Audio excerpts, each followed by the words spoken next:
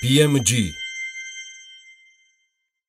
კრიპტოვალუტების წარმოებული ოპერაციებიდან მიღებული შემოსავლები კი აზერბაიჯანის ტერიტორიაზე დაიბეგრება. მის შესახებ განცხადება თავად აზერბაიჯანის გადასახადების სამინისტროს საგადასახადო პოლიტიკის და სტრატეგიული კვლევების დეპარტამენტის დირექტორის მოადგილემ ბაქოს მეორე საფინანსო და საინვესტიციო ფორუმზე გააკეთა.